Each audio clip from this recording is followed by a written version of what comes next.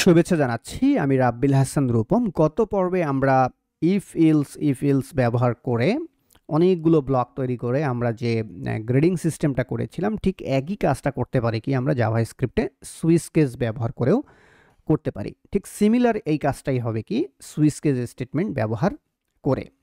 তো জাভা স্ক্রিপ্টে যখন আমরা সুইস নিয়ে কাজ করি সুইস নিয়ে কাজ করার সময় আমরা করি কি জাস্ট এইভাবে লিখি সুইস দেন এই সুইচ ব্লকের ভেতরে আমরা মাল্টিপুল চেক করি। তো এক একটা চেককে বলা হয় এক একটা কেস ওকে এক একটা চেককে বলা হয় এক একটা কেজ এবং চেক শেষ হয়ে গেলে আমরা সেটাকে ব্রেক করে দিই। যেরকম এখানে খেয়াল করে দেখেন, এখানে আপনারা দেখতে পাচ্ছেন কেজ এ অর্থাৎ একটা কেজ চেক হয়ে গেল চেক হয়ে যাওয়ার পরে আমরা সেটাকে ব্রেক করে দেব। দেন আবার নেক্সট কেজ চেক করব দেন আবার সেটাকে ব্রেক করে দেব। আবার থার্ড কেজ চেক করলাম, সেটাকে ব্রেক করে দিলাম এবং ফাইনালি কোনো কেজের সাথেই বা কোনো শর্তের সাথেই যদি আমার মিল না হয়, সেক্ষেত্রে ডিফল্ট একটা রেজাল্ট আমরা দেব। তো এটা যেহেতু আমাদের মাল্টিপুল যখন আমরা এরকম ইলসিপ ইলসিপ ইলসিপ ব্যবহার করে কাজ করি, এটার বিহেভিয়ারটাও যেহেতু সেটাই এই জন্য বলা হচ্ছে কি, বলা হচ্ছে যে the JavaScript switch statement is use to execute one code from multiple expression it is just like else if statement অর্থাৎ ইলসিপ বারবার ব্যবহার করে আপনি যে কাজটি করছেন, ঠিক একই কাজ আপনি এই সুইচ কেস ব্যবহার করেও করতে পারেন। তো চলেন, গত পর্বে আমরা যে কাজটি করেছিলাম, ইলসিফ ব্যবহার করে এই সেম কাজটাই এবার আমরা করব কি? এই সেম কাজটাই এবার আমরা করব কি? সুইচ ব্যবহার করে করব। সুইচ কেস ব্যবহার করে করব। তো সুইচ কেস ব্যবহার করে করার জন্য প্রথমে আমাদেরকে লিখতে হবে সুইচ, ওকে? দেন এখানে আমরা একটা প্যারেন্থিসিস দেব দেন এখানে একটা বডি তৈরি করে নেব। এবং এই যে বডিটা নিলাম আমরা, এই বডির ভেতরে আমরা করব কি আমাদের মাল্টিপুল স্টেটমেন্ট বা মাল্টিপুল চেকিং আমরা করব। এবং এই সুইসের যে প্যারেন্থেসিস এই প্যারেন্থেসিসের ভেতরে একটা প্যারামিটার দিতে হবে। বাই ডিফল্ট এখানে আমরা একটা ট্রু লিখে দেব। ওকে এখানে জাস্ট আমরা লিখব ট্রু ওকে এখন এইখানে আমাদেরকে একটা একটা করে শর্ত চেক করতে হবে। অনেকগুলো শর্ত চেক করতে হবে, তাই না? এখানে অনেকগুলো শর্ত আমাদেরকে চেক করতে হবে। তাহলে অনেকগুলো শর্ত চেক করার জন্য আমি এখানে একটা করে কেস তৈরি করব। এক একটা শর্ত হচ্ছে আমার এক একটা করে কেস এক একটা শর্ত হচ্ছে আমার এক একটা করে কেজ তাহলে এই কেজের ভেতরে আমরা শর্তটা লিখব দেন ক্লোন দিয়ে সেই শর্তটা ক্লোজ করে দেব। দেন ক্লোন দিয়ে সেই শর্তটা ক্লোজ করে দেব। দেন সেই শর্তের কারণে আমার যে ডকুমেন্ট ডট রাইট হওয়ার কথা ছিল বা আমার যে আউটপুট আসার কথা ছিল, এখানে আমি লিখে দিচ্ছি সেভ ডকুমেন্ট ডট যেটা এর আগে থেকেই আমরা লিখে আসছিলাম। Document dot document dot write document dot write সেই এক্সপ্রেশনটা আমরা এখানে এক্সিকিউট করব। দেন একটা করে কেজের চেকিং যখন আমাদের শেষ হয়ে যাবে, একটা করে কেজের চেকিং যখন শেষ হয়ে যাবে, তখন সেই কেজটাকে আমরা করব কি? ব্রেক করে দেব। প্রথম কেজে আমরা একটা চেক করলাম যে আমাদের মার্কসটা যদি, সে আমাদের মার্কসটা যদি একশোর থেকে ছোট হয় বা একশোর সমান হয়। অ্যান্ড অ্যান্ড এবং আমাদের যে মার্কস এই মার্কসটা যদি এইটটির থেকে বড় হয় বা এইটটির সমান হয়, আবার আমি চেক করছি যে মার্কটা যদি এইটটির থেকে বড় হয় কিংবা এইটটির সমান হয়, তাহলে এখানে ডকুমেন্ট ডট রাইটের ভেতরে আমি খুব সিম্পলি এখানে বলে দিলাম যে আমি এ প্লাস পাইছি। তাহলে এইটা হচ্ছে আমার একটা কন্ডিশন যে কেস আমার ইন কেস ইন কেস মানে এই শর্তে, কোন শর্তে মার্কস যদি আমার একশো থেকে ছোট হয় কিংবা একশোর সমান হয়, আবার আশির থেকে বড় হয় কিংবা আশির সমান হয়, তাহলে এই রেঞ্জের ভিতরে আমি বলব কি এ প্লাস তাহলে এরকম করে আমরা করতে পারি কি, এরকম করে আমরা মাল্টিপুল কেস তৈরি করতে পারি।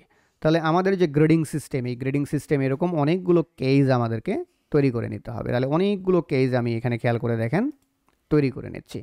তাহলে প্রথম কেজি আমার রেঞ্জ কত ছিল? আমার প্রথম কেজির রেঞ্জ ছিল একশো থেকে আশির মধ্যে। এবার আমি রেঞ্জ দেব যে কেউ যদি এবার রেঞ্জ দেব হচ্ছে আমি কত থেকে দেব? যদি সত্তর থেকে আশির ভেতরে পায়। যে সে সত্তরের সমান কিংবা সত্তরের থেকে কি বলব? আচ্ছা এখান থেকে আশি থেকে শুরু করি।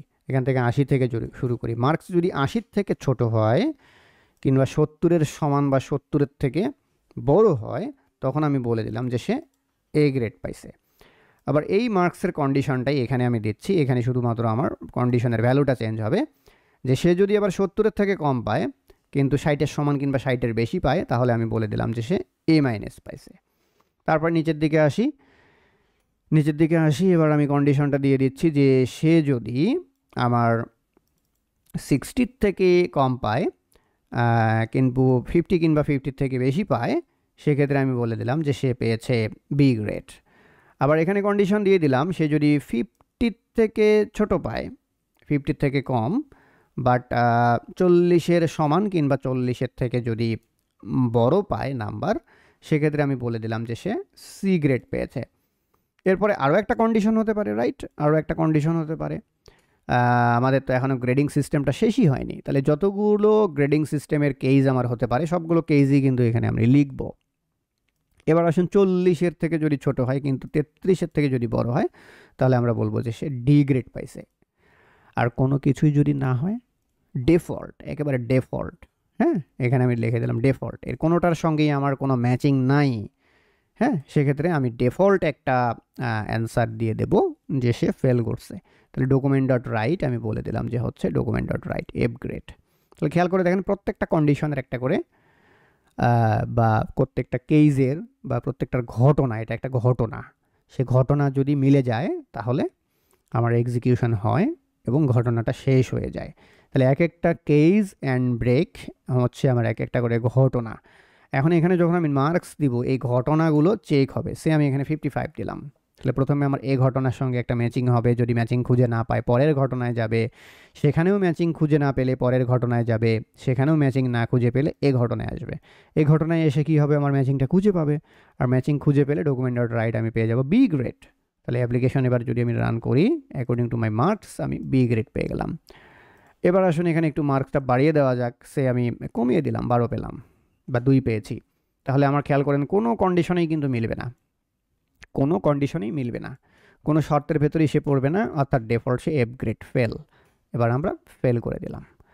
এখন যদি এরকম হয় কেউ একশো পেয়েছে, একশোতে একশো পেয়েছে, তাহলে একশোতে একশো পেলে কী হবে? According to our condition A plus তো এইভাবে আমরা করতে পারি কি আবার? এই যে সুইস কেস স্টেটমেন্ট ব্যবহার করে বারবার if else if else if else if লিখে যে কাজ করি সিমিলার সিমিলার একই কাজটাই আমরা সুইচ ব্যবহার করেও করতে পারি। তো আশা করি সুইচ কীভাবে কাজ করে ইফ কীভাবে কাজ করে ইফ ইলস কীভাবে কাজ করে ইফ ইলস ইফ কীভাবে কাজ করে, এই ওভারঅল বিষয়গুলো আপনারা বুঝতে পেরেছেন। এর পরের পর্বে গিয়ে আপনাদের সাথে আলোচনা করব জাভা স্ক্রিপ্টের লুপ নিয়ে এবং লুপ নিয়ে বেশ কিছু আলোচনা আপনাদের সাথে হবে। ধন্যবাদ সবাইকে।